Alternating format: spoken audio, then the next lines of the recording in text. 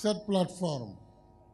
Parmi d'autres réalisations, au titre de la coopération sino-sénégalaise, Monsieur l'ambassadeur, vous venez d'en énumérer certains aspects. Prouve une fois de plus que la dette n'est ni un piège, ni un fardeau quand elle est investie, comme nous le faisons dans l'économie productive, pour créer des emplois et de la richesse et favoriser ainsi le développement économique et social.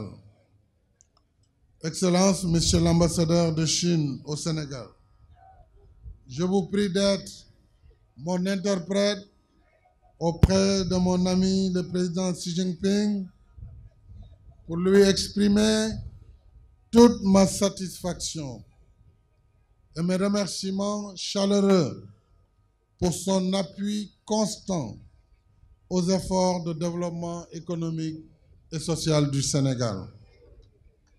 Nous avons d'ailleurs eu l'occasion de le faire, de faire le point de ce partenariat dynamique et stratégique au dernier sommet des BRICS en août dernier. Je tiens également à féliciter le consortium d'entreprises CGCOC SRBG pour la qualité excellente de l'exécution des travaux de cette seconde phase dans le délai après celle réussie de la première phase.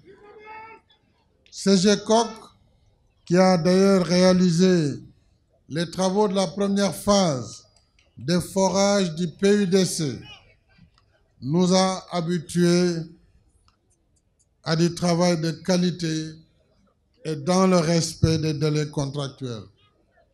C'est pourquoi nous avons souhaité lui confier la deuxième phase de forage du PUDC pour une exécution qualitative et diligente.